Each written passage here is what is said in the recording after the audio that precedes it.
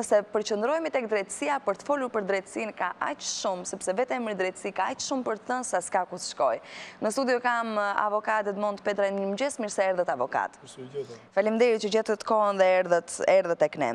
Unë kam shumë piketa nga të cilat dua ta filloj, por Më ngacmon kjo ngjarja e fundit, sa i takon amnistisë që u bë, që u bë nëpër burgje, kush përfitoi, a u bë ashtu siç duhej, a përfituan ata që realisht duhet të përfitonin nga kjo amnisti, dhe a u interpretua ligji siç duhej, bëra shumë në një.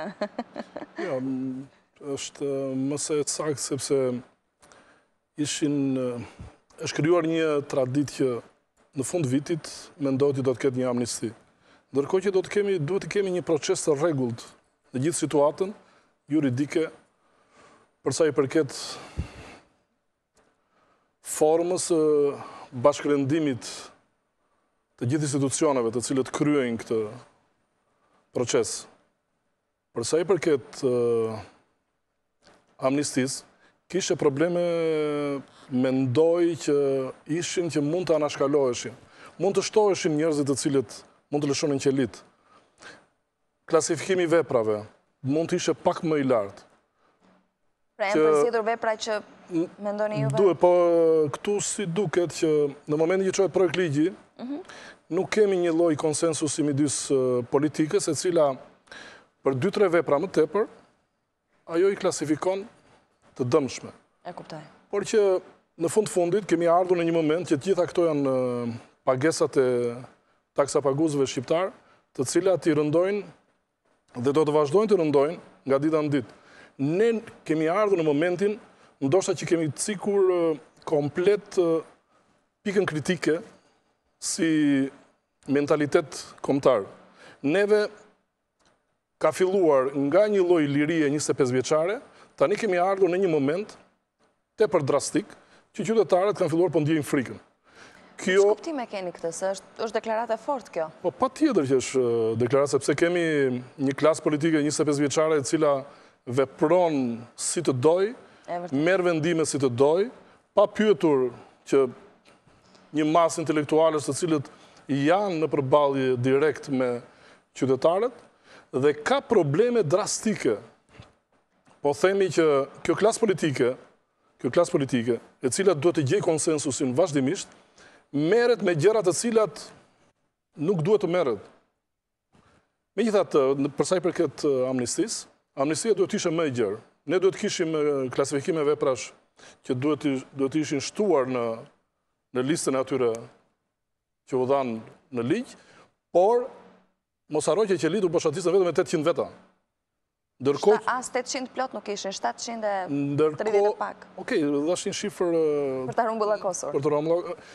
Por mos harro që kemi sot vetëm procese hetimore në gjithë prokurorinë, apo në hetim të lirë, kemi një shifër marramendëse. Mund ta themi? Mund të shkojë një shifër deri në 30 mijë. Pra, ka qytetarë sot në gjithë Shqipërinë që duke u kapur njëri, një person, kanë dalë 10 emra, janë 10 veta në hetim. Hetim. Mirë, kjo sikur nuk shkon. Kam qenë dhe njëherë në këtë studio, e cila kam qenë partizan gjithmonë për disa vepra të lehta penale, duhet të klasifikoheshim në gjobë. Nuk është e nevojshme më për energjinë elektrike... Të shkosh në burg. Të shkosh në burg. Për një masë alkooli të shkosh në burg. Për një ndërtim pa leje, qoftë edhe duke kryer dhe procesin administrativ, duke shkuar në njësinë administrative të marrësh leje, prapë, policinë e ke te dera, ke apo s'ke të drejtë, ata vijnë aty. Pra, kemi një dhe një përplasje institucionesh. Po, kjo ndihet shumë në fakt përplasja mes institucioneve. Kemi një moment të cilin mund të them që të gjithë njerëzit sot, po t'i shikosh, kanë një stepje totale, si nga gjendja shpirtërore, dhe nga gjendja e cila ata nuk dinë se çfarë do të ndodhë me ta nesër. Jemi në momentin që njerëzit po largohen, po po shikojnë po mundësinë e largimit. Pse për po ndodhë kjo? Shkak të pasigurisë. Shpresa. Shpresa. Në qoftë se ne sot kemi politikanë që kanë nga 30 vjet, 35 vjet, se 36 vjet vajtëm tani. E vërtetë është. Enver Hoxha ndenji 30 vjet. Këta vajtën nga 30 vjet, por administrata e tij ishte më e mirë se sa kjo që është sot. Atëherë na mungonin ca gjëra që i kemi sot. Që nuk hyjnë në punë askujt. Liria e fjalës dhe liria e të drejtave të njeriut është elementi bazë. Po nuk u respektua njeriu, kemi momentin më të dobët dhe jemi në prag diktature. Në një vend që nuk njifet këshillimi, Pra, po ja marr edhe si me shembull ë, në qofë se një punonjës policie, e ndalon një qytetar, për një veprim të gabuar, nuk e këshillon, po direkt në masë, kjo nuk shkon. Dhe kanë gjetur një formë fare të thjeshtë. Shko, ankohu në gjykatë. Dihet kalvari. Vetëm mos shkosh në ato dyer, se pastaj nuk i dihet sa zgjat. Problemi ishte me këtë amnisti, them se duhet të ishte më sqarus për sa i përket edhe me një ligj më të lehtësuar.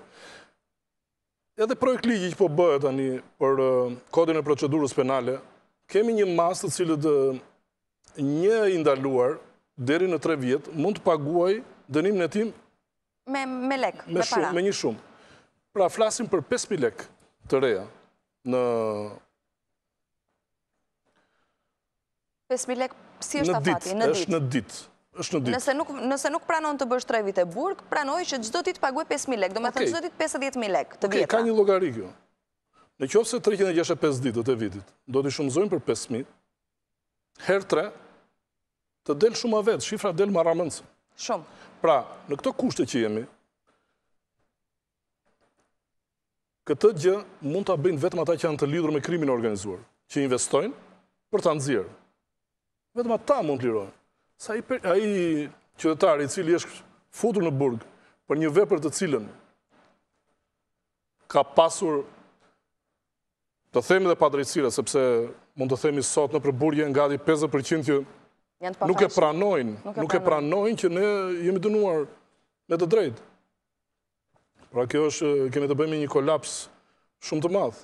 Kështu që them se sado që mund të flasim për amnistinë, amnistia gjithmonë kishte vend për të krijuar Lehtësira për qytetarët. Meqenëse jemi te burgjet të qëndrojmë pak edhe këtu, edhe pse disa gjëra që ju thatë mua më ngacmojnë për të bërë pyetje të tjera. Si është situata aktuale nëpër burgje? Sepse ata të cilët janë nëpër burgje, padrejtësisht apo me të drejtë për të vuajtur dënimin, mbahen, ushqehen, jetojnë me taksat e qytetarëve, apo jo? Patjetër. Dhe të burgoset dikush i cili Për një moment të caktuar, nuk kishte lejen e drejtimit edhe pse përbën shkelje sepse ai mund t'i marrë jetën nesër dikujt tjetër dhe bën vepër penale, mbahet në burg njësoj ose ndoshta në të njëjtat kushte me një njeri i cili i ka marrë jetën me dashje dikujt apo ka kryer një vepër të rëndë penale. Si është situata aktualisht? Situata nëpër burgje sot që flasim Okej, ka përmirësime në situatat në trajtimin e të ndaluarve dhe të burgosurve.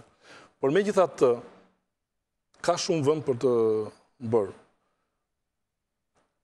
Kur them që burgjet sot prapë janë të populluar, them sepse një pjesë e veprave të lehta penale nuk duhet të ishin fare.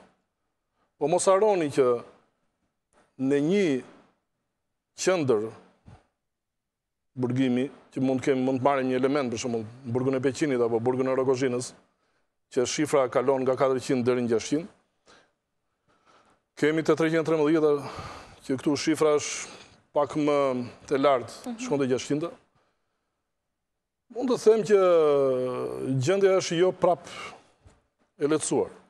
Sepse ishte pikërisht kjo përplasje që pati mes kur u çua projektligji për t'u miratuar, ishte prap situata me ishte prap situata me politikën e cila nuk lejoi të shtesën e po. disa vepra të tjera të cilat mund të përbënin lehtësi. Kemi shpenzime marramendëse përsa i përket trajtimit të një Të burgosur. Të burgosur. Po në fund fundit flasim edhe për një moment, për çfarë mbahet ky në burg. Kjo shoqëri të cilët ne investojmë për këtë person, çfarë përfiton? Ku është përfitimi? Këto janë gjëra që ne duhet t'i kërkojmë. Por ne kemi një zakon si edhe si Si komb. Si popull që kur vijnë personat përgjegjës që duhet të flasin për këto procese, neve në vend që t'i bëjmë pyetje na mbajnë fjalime. Po nuk të lënë vend.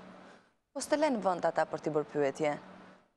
Kjo varet nga kurajoja qytetare që ka çdo person. Ka dhe një gjë në këtë situatë, që procesi për trajtimin e një të ndaluari apo të burgosuri duhet të jetë sa më transparent. Askush nuk di cila është shuma sot që ka në dispozicion drejtoria e përgjithshme e burgjeve që është investim. A janë transparente tenderat? Çfarë blihet ditë për ditë? ushqimi. Cili është konsumi ditor, energjia. E vërtetë është. Dhe mbi të gjitha këto, kush është veprimtaria ditore që ka një i burgosur brenda? Sepse këta e marrin, e fusin brenda dhe këtu mbaron filmi. Jo, ky duhet trajtuar, se këtu duhet të kemi dhe formën e risjelljes së tij në shoqëri, po. duke dalë ky person edhe me një profesion, më Nuk ka një qendër. Mhm. Nuk ka mundësi që një djalë 20 vjeç, i cili sot është i ndaluar, ai humbet çdo lloj kontakti me të nesërmen. Tani, teoria këtu është që merre fute në burg ka bërë këtë vepër, të ndëshkojmë, ku të ju vetëm... Çështja është edhe të rehabilitohet, edhe të ta të trajtohet që mos e përsërisë po, po, më. Kemi filluar, po prodhojmë vetëm të sëmurë psikikë. Në fakt njerëzit që dalin nga burgjet, Janë të sëmurë psikikë sot. Po kjo është evidente. Asnjeri s'del normal nga. Sepse vetëm kur shkon të futesh brenda një në burg, është shok më vete. Shikoji çfarë kushtesh ka. Po ata janë njerëz. Imagjino edhe tani me situatën që ishte një klimë marramendëse të ftohti, burgjet ishin jo shumë të sistemuar. Për sa i përket... Megjithatë, te kjo ngelet që të flitet edhe më shumë për sa i përket transparencës e investimeve të tyre. Po si ka mundësi që institucionet nuk reagojnë në lidhje me këtë, në lidhje me këtë tematikë? Nuk e ngre, ju shumë mirë që e ngrini zërin dhe me të drejtë thoni problemet. Pse nuk bëhen bashkë një grup njerëzish të cilët janë të fushës dhe e prekim përditë këtë gjë, juve keni besoj përditë ose shpeshherë klientë që, që kanë nevojë për këshillimin tuaj dhe për ndjekjen tuaj, Pse nuk ngrihet zëri, të ndryshojë situata? Se po flitet për reformë drejtësi, reformë në shëndetësi, por... Problemi i reformës në drejtësi këtu te neve e bëjnë ata të cilët kanë sjellë padrejtësi. Pra, ky ligj u ashpërsua shumë, sepse ata në fund të fundit po shikojnë dhe konkurrencën e tyre. Konkurrencën e brendshme ndërmjet një... Konkurrencën e atyre që duhet të vijnë nga jashtë të shkojnë brenda. Kanë tendencën. Kështu që këta si njerëz të cilët duan të ndihmojnë një masë të caktuar njerëzish, nuk e ngrenë dot zërin, për arsye sepse është bërë një lloj rrethi dhe të gjithë ata që flasin, janë jashtë rrethit. E kuptoj. Që të hysh brenda rrethit dhe të kalosh gardhin, duhet të marrësh lejen e tyre dhe të jesh komunikus me to. Njerëz dhe zëra, ne, ne mes kolegësh flasim herë pas here, dhe jemi dhe në një shoqatë të cilët janë avokatët penalistë, Ne e ngremë zërin herë pas here dhe flasim për këto problematika, sepse aty ka avokatë nga gjithë Shqipëria, dhe flasim dhe për problemet, për jenë, shoqata është goxha e rritur, por që prapë nuk ka një komunikim mes njerëzit që janë përballë me problemin, të komunikojnë me parlamentin apo parlamenti jonë për shembull është unë nuk di, unë kam dëshirë të shkoj njëherë në parlament, mhm. të ndjek një seancë plenare kur ka një problem me të vërtetë serioz. Okej, ne me të vërtetë nuk kemi të drejtë të flasim, por vetëm të dëgjojmë. E shikojmë nëpërmjet televizionit. Nga ekranit, po. Ose të jemi në komisione. Në shtetet perëndimore kjo lejohet. Po. Ka ditë të caktuar. Ka ditë të... Sepse përmirëson ligjin. Po patjetër. Dhe në komisionet e ligjeve, shkojnë qytetarë. Jemi disa vite jo, dritë larg. Kjo është një element që duhet ngritur. Unë shikoj emisionin e mëngjesit tek ju, me Patrik Sadikaj. Tek ora, qepet edhe te qenë. Po. Dhe problematika pa fund. E vërtetë është. Në qoftë se ti do të shikosh realitetin shqiptar, ndiq emisionin e mëngjesit, dhe aty shikon se si ulërijnë njerëzit nga padrejtësitë, nga problemet, nga vështirësitë që po hasim në jetën e përditshme. Por, në vesh të kujt shkojnë. Pushtetarët tanë çohen në tetë e gjysmë të mëngjesit. Emisioni ka mbaruar aty. Është e vërtetë. Ju më thatë, zoti avokat, që reforma në drejtësi, jo të gjithë e kuptojmë siç duhet.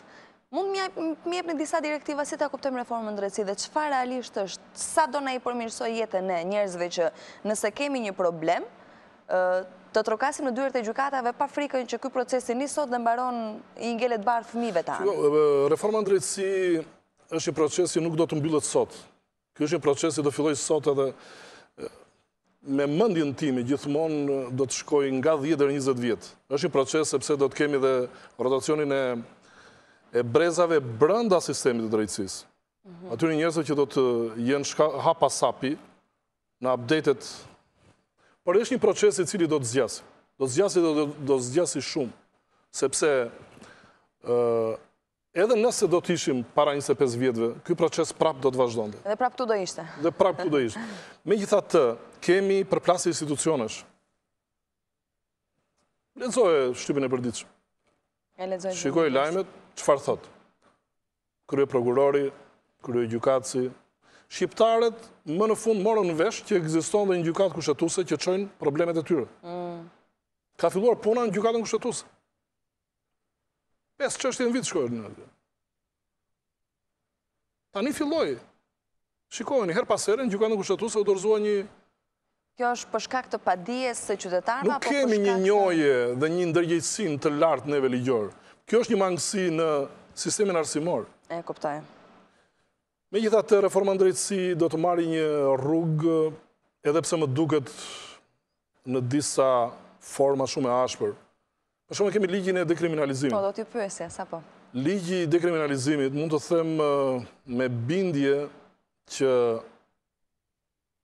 pa e kaluar masën që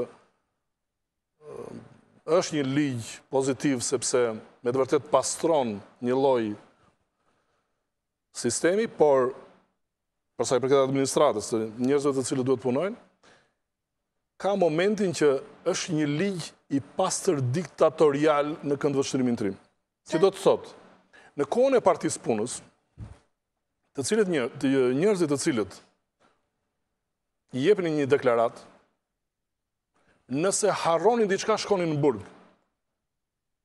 Sot, kur një person i cili është në një funksion publik, ka një listë me zëra të cilat janë të ndaluar, që ky person nëse ka kryer një nga këto vepra, ndalohet të punojë të ushtrojë aktivitetin, në qoftë se nuk ka kryer një nga këto vepra, ai s'ka çfarë të shkruajë. Pra, këta tani, në tre rastet e fundit, kishim një përplasje... Njëri thoshte pse e ke lënë bosh, tjetri thoshte pse po, pra, e ke plotësuar. Ai s'e ka ligji. Mirëpo kjo varet, gjithmonë sepse ne tani, ku ka shqiptar që nuk është ndaluar nga policia sot? Ka. Mund të them që 60 deri në 70% e shqiptarëve, minimalisht, po të them, ka shkuar vetëm njëherë, ka shku njëherë në polici. Jo të gjithë. Po jo, jo. Po jo ta them unë. Si? Po janë ndaluar njerëzit për mitingjet e paligjshme kot, mo. Edhe ai duhet ta shënojë dhe atë aty. Edhe nëse je ndaluar nga policia po, rrugore po. për një llambë të djegur të makinës. Përse u ndalua i nderuari Shqiprim Selami? Përse u ndalua të ushtrojë aktivitetin? Për një ndalim që kishte ndodhur në Itali, sqarim i cili nuk mori as dënim, E kuptoj. Ka... Kjo gjithmonë tani përdoret si... si kanxhë përballë qytet... punonjësve publik, apo ata që punojnë në administratë që të paraqesin me saktësi të dinë çka kanë bërë në... ku di unë, edhe në 93-shin, që hajde ta mbaj mend. Ja më thuaj mu çfarë ke bërë në 93-shin. Ka një problem. Po, Atëherë i bie që ligji i dekriminalizimit nuk na bën mirë sa duhet. Jo, jo, duhet duhet zbatuar ashtu ashtu siç duhet. Pra mungon interpretimi i saktë. Interpretimi shumë i saktë. Për shembull, prokuroria e timit që është në prokurorinë e përgjithshme që ka marrë gjithë funksionarët tani që ka marrë dosjet dhe që po i kontrollon, ka kapur këto gabime.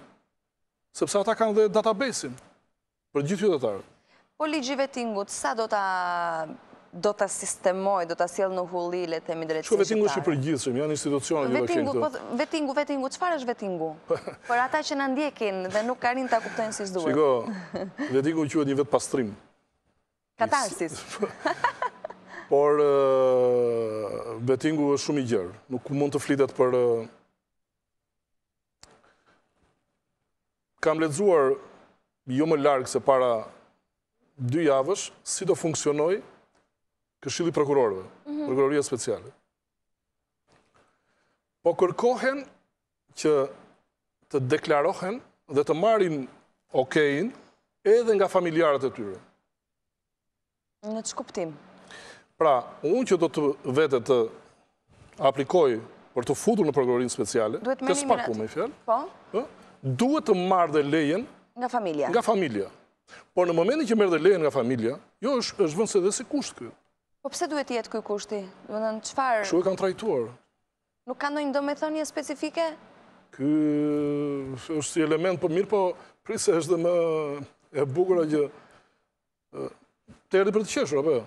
Po se më duket Dhe në momentin që ju si bashkëfamiljar, po kaloni direkt në sitë, në hetim.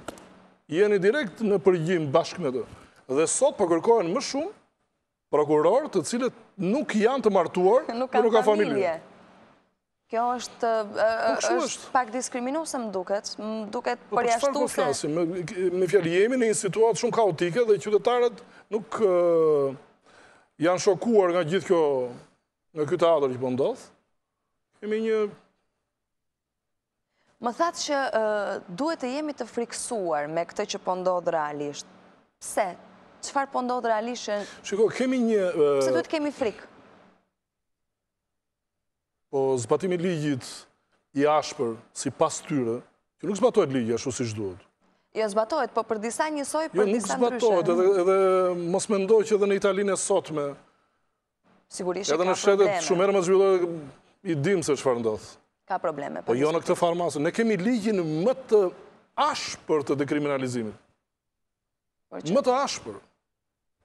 Llogarit që shqiptarët këto veprime të shpërndara, të shkeljes së ligjit, nga i mësuan? Nga ne? Po sigurisht se nuk lindi këtu. Nuk lindi këtu. Patjetër. E gjithë kjo situata e familjarëve të tyre të cilët i thonë tani mos aplikohem. Po më duket... Po kam shokë të mi të cilët kanë aplikuar.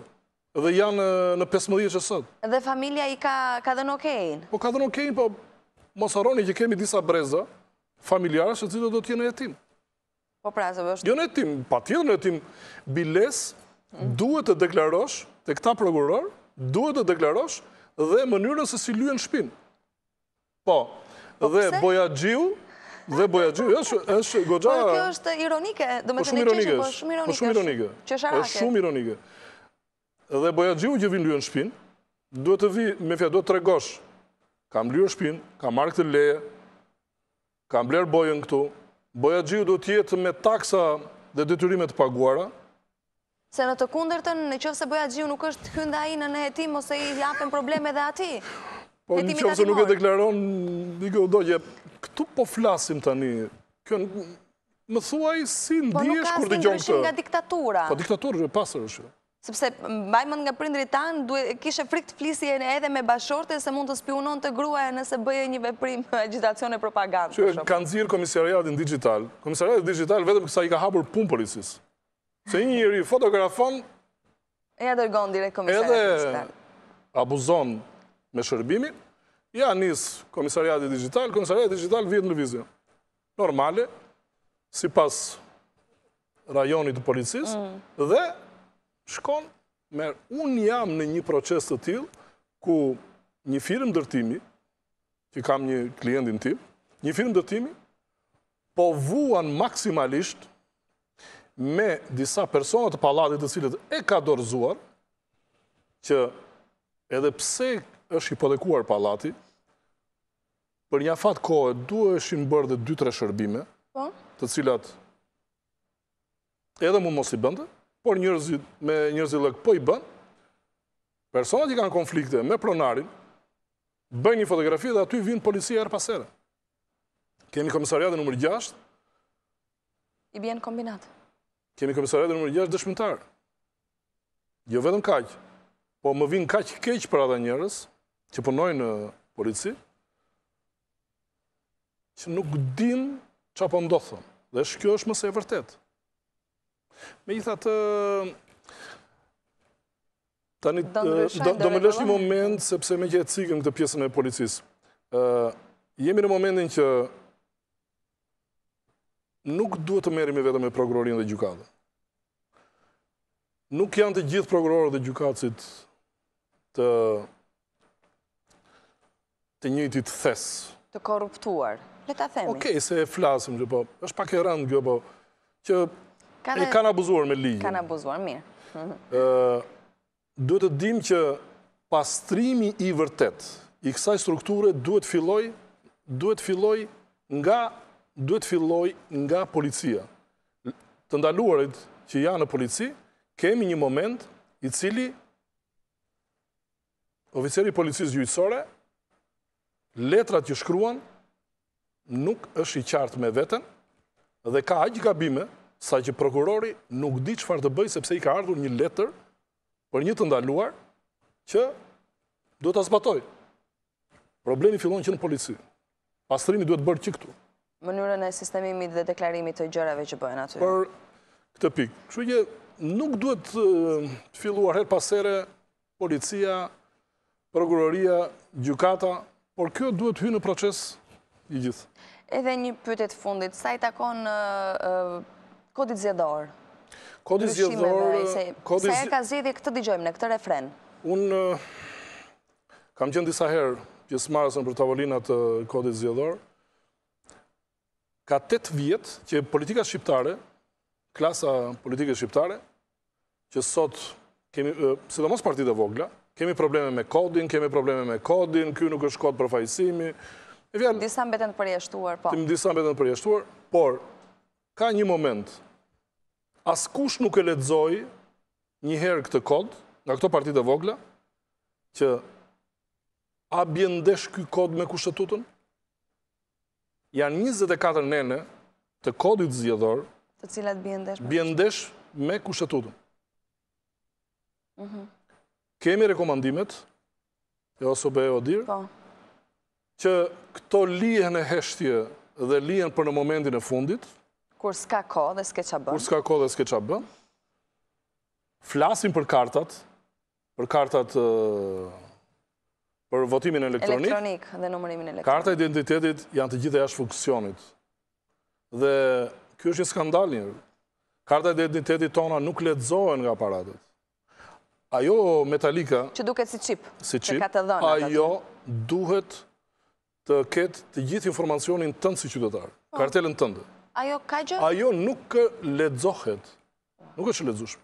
Dhe ky është një test i bërë edhe në disa procese hetimore që kam qënë me disa klientë të mi të ndaluar për këto procese. Dhe kjo është më se e vërtetë.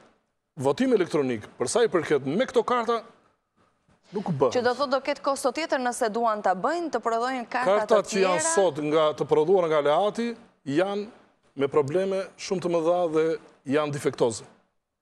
Nuk janë, nuk kanë masë sigurie. Po pasaportat biometrike kanë masë më të lartë sigurie? Nuk mund të flas për ato ne folëm për kartat e identitetit të cilat elementi kryesor. E kuptoj që bën votimin elektronik. Sot kur kalon në doganë, kalon vetëm skanimi i kartës. Nuk kalon, në qoftë se do të kishe leximin me anë të çipit, ty do dilte komplet informacioni të e si qytetar. Me i tha të... Ka shumë, ka shumë për të folur të cilat të bëjnë dhe të reflektosh për ta parë ndryshe se si funksionojnë gjërat. Shpresoj që prekëm disa gjëra kështu përciptazi, po gjërat që Jo, prekëm, prekëm gjëra të rëndësishme dhe mua më ngeli në mendje edhe ajo që u tha që prokuroria aktualisht ka le të themi gati 30000 persona që janë në hetim. Janë në hetim sepse sot kemi plantacionet e hashashit. Nga 60 veta arrestohen. Po 60 veta kanë kanë shkuar dhe familjarët e tyre, pse e le të punonte, pse shkoi të punonte, pa shumëzoji vetë edhe sa bëhen. Sa emra. Nuk flasim tridhjetë mijë raste, flasim për tridhjetë mijë persona. Persona, po. Pra, një person, në një çështje shkojnë dhjetë veta. E kuptoj. Që janë shumë, është një numër shumë i lartë. Po shiko çfarë po ndodh. Po puna e parë që duhej bërë, punëtorët të cilët punonin në për këto magazina, duhet të ishin nxjerrë. Ata janë viktima. Ata sot janë klasifikuar si si trafikantë. Si trafikantë, kultivues. Kjo është një dhimbje shumë e madhe. është një dhimbje dhe një dhimbje e cila Me këtë duhet të merret totalisht politika. Le të shpresojmë që ta kuptojnë vërtet se cilat janë problemet që shqetësojnë shoqërinë shqiptare për ta përmirësuar dhe për ta bërë ashtu siç kemi 26 vjet që e kërkojmë dhe s'po realizojmë dot. Shpresojmë inshallah ditë më të mira që vijnë. Le të shpresojmë. Zoti Edmond, unë ju falenderoj që ishit në studio dhe ju uroj gjithë të mirat. Faleminderit. Faleminderit.